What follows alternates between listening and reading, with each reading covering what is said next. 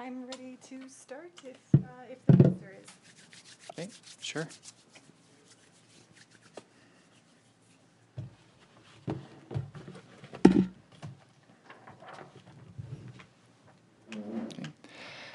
Hello, and thank you all for joining me today.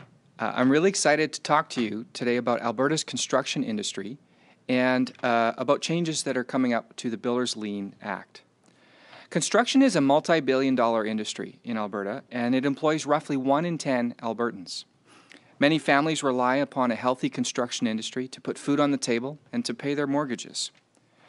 Many Alberta entrepreneurs have put their life savings on the line to build a business in the construction industry, creating jobs, investing in our province, province's future. The construction industry is a big part of Alberta's economy, our culture, and our way of life. As Alberta faces the challenges ahead uh, on the road to economic recovery, we need a strong construction industry. But in order to have a strong industry, we need to address a problem that has been growing uh, for a number of years, and that is the problem of not getting paid in a timely manner for the work that has been done.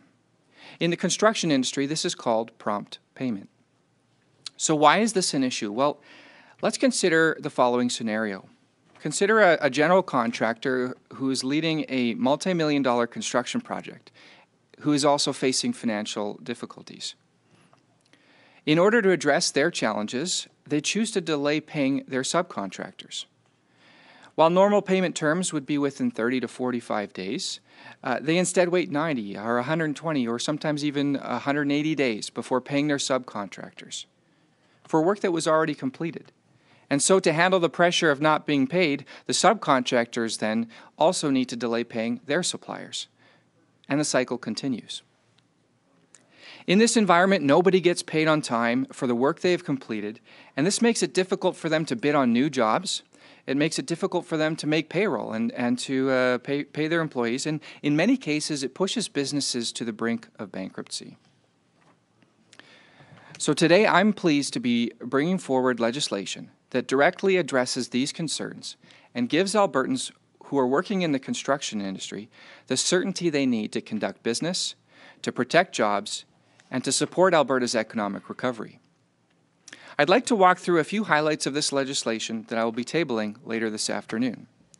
First, we will make it mandatory for payments to be made within 28 days.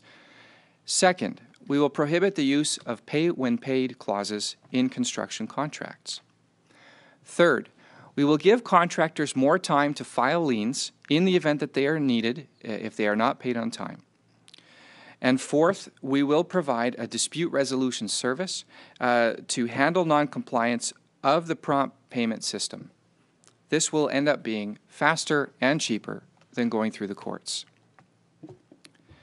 The changes that I am bringing forward today are the result of an extensive consultation process. Over the last 12 months, I have worked very closely with construction companies and trade associations from all across Alberta. And thanks to their efforts and to their insights, I am confident that we have found the right solution to this problem. I am also proud of how quickly we have acted to deliver this much needed relief to the construction industry in Alberta. In Ontario, they recently overhauled their le- legislation on this matter, and it took them almost four years. And I'm pleased to say that we've got this done in one year. This legislation is about more than just prompt payment.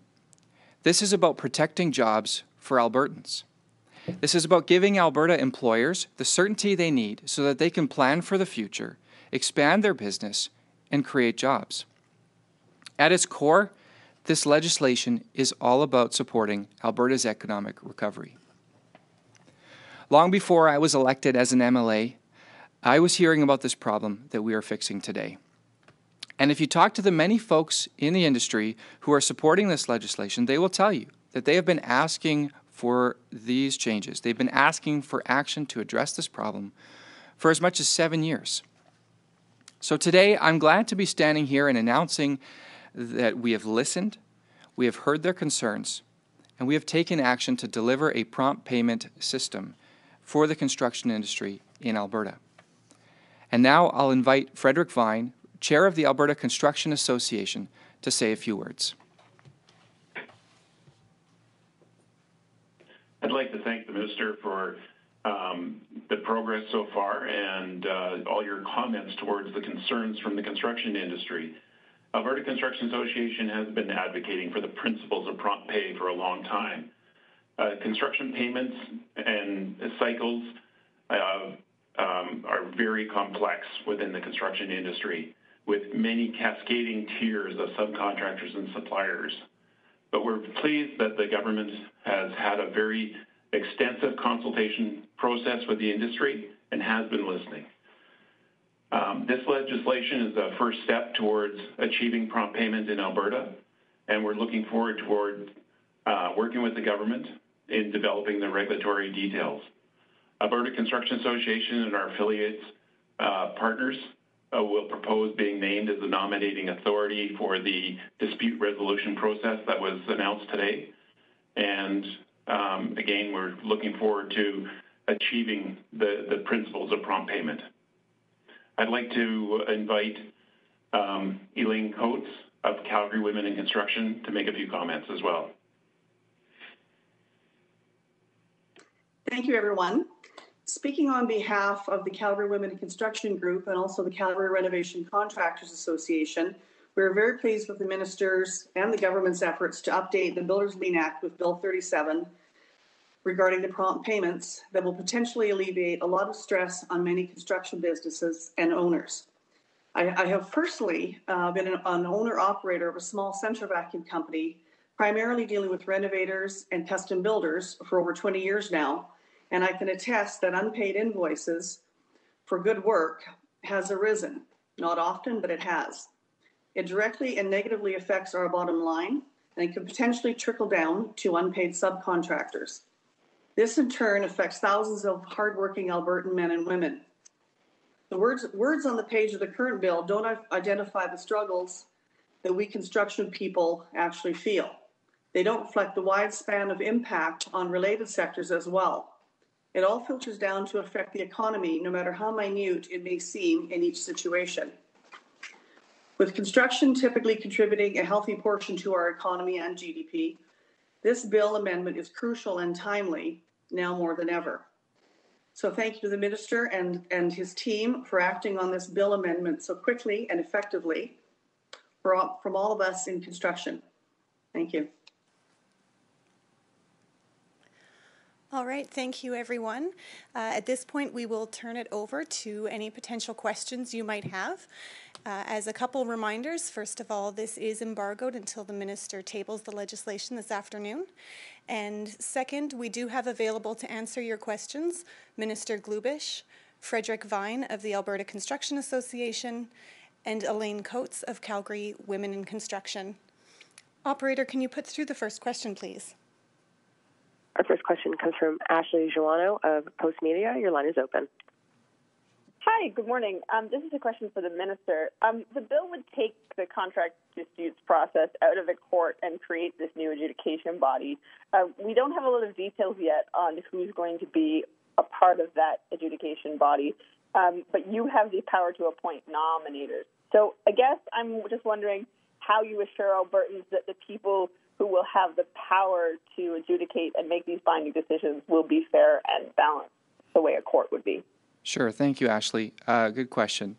So, uh, the, the, approach for appointing authorized nominating authorities uh, to, to, into the adjudication role um, it follows the model of what Ontario has done as they've reformed their uh, their similar legislation to address the prompt payment issues, and that is to uh, to work with the industry to identify uh, partners who become these authorized nominating authorities, who will then uh, oversee the the nomination or the adjudication process they will follow the regulatory environment that we develop in consultation with industry to to uh, outline exactly how those processes will work and how the rules will be uh, enforced. And uh, but what we will also be doing that is different from Ontario is we will be having the ability to appoint more than one of these adjudicating bodies, uh, allowing for competition in the system to ensure that Albertans can count on having uh, the best rates, the best service, and timely uh, adjudication. Ashley, do you have a follow-up? Uh, yeah, I guess I just was hoping for a little bit more detail about about what you hope, like what industries will re- be represented in adjudicators and what qualifications you hope they'll have to make sure that they are making fair decisions. Well, um, certainly my job as minister is to make sure that the best people possible uh, are the ones in the position to do that job. And uh, I don't want to prejudge what that's going to look like because uh, we, we have not passed this legislation. We have not completed the supporting regulations, uh, all of which will be done in time for the July 2021 uh, proclamation of this legislation, assuming that it, it uh, should, should pass uh, the legislature in this fall sitting. Um, but should, should it move forward, um, then as we flesh out those legislations in consultation with industry, um, then I will work with the industry to identify interested candidates uh, to apply for those roles, and it will be my job to make sure it's the best people possible to do the job. Operator, are there any other questions on the line? There are no other questions in the queue at this time. All right, thank you, everyone. Thank you, Frederick and Elaine, for your participation as well, and have a great day. You're welcome. Thank you.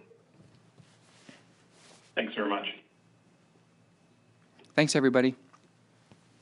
Thank you.